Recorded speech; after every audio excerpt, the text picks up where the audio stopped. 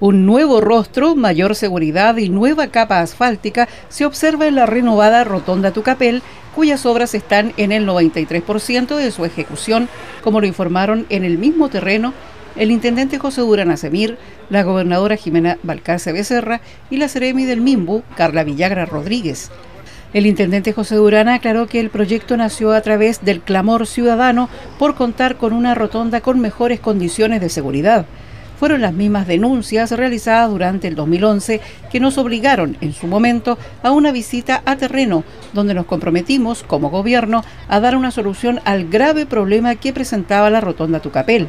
Hoy vemos como el Mimbu y el Serviu dieron una solución concreta al tema, especificó.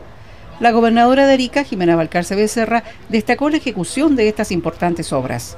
esto va mezclado a la a la pavimentación, arreglar lo que es los muros, pintar y todo el reforzamiento de manera que quienes transiten por acá lo hagan de manera segura y en esta rotonda que es tan transitada y, emblemática de la ciudad. Se ha estado monitoreando permanentemente ya que eh, desde que empezamos la pavimentación en la ciudad ha habido mucho reclamo, pero estamos bajo o sobre, perdón, los estándares de calidad necesarios a través de la pavimentación que se está haciendo en toda Arica.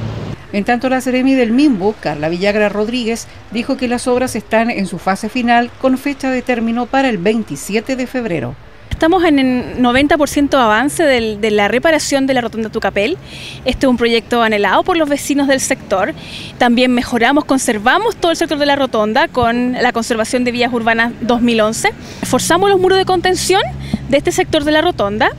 Eh, mejoramos también todo el perímetro con, los fierros que están rodeando la rotonda.